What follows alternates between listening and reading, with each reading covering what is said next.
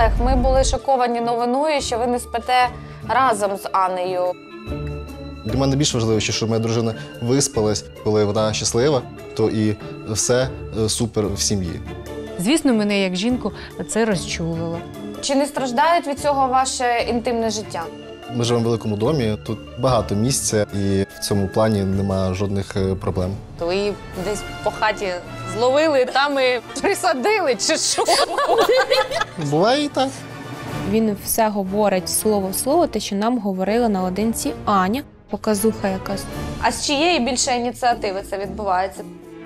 В залежності по який настрій. Бо в нас склалося враження, що в цій сім'ї вирішує все більше Аня.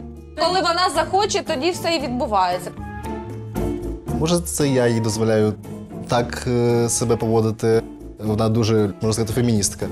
Тут я хоча б хотіла побачити мужню якусь позицію. А він все одно почав захищати Аню. Всюди Аня попереду. Ви чоловік каблук. Чому? Бо е, в розвитку бізнесу Аня, в вирішенні питань Аня.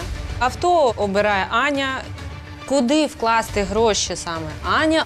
Коли ми вирішили бути разом, ми обговорили на рахунок сім'ї майже все. Коли я бачу, що на якісь такі замашки, кажу, слухай, наша сім'я є як, як акціонерне товариство. 50 на 50, але в мене там плюс один. І слово останнє за мною. Та у вас 30. І то нема. От хто головний в вашій родині? Ви ніби сучасні жінки, а мислення у вас це дійсно 18 сторіччя. Коли кругом у всьому світі феміністки виходять за свої якісь права, то у вас в голові патріархат і все. Олег виправдовує себе, тому що він розуміє, що він конкретний підкаблучник, і мені навіть його шкода. А яким, на думку Віки, має бути справжній чоловік? У мене навіть чоловік зламав руками мені ногу. Дуже складний перелом. Як це з такою ненавістю роздробити ногу? І про це у наступній програмі.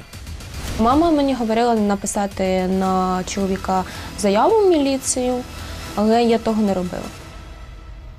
Їй подобається, коли її ноги ламають. Хочу сказати, що мені не подобається, який приклад ви даєте двом синам.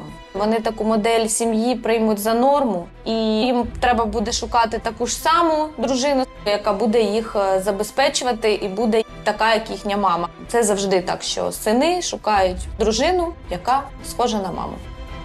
А потім е, незрозуміло буде, чому ж немає невістки в наших синів, бо не знаходиться така мама Аня.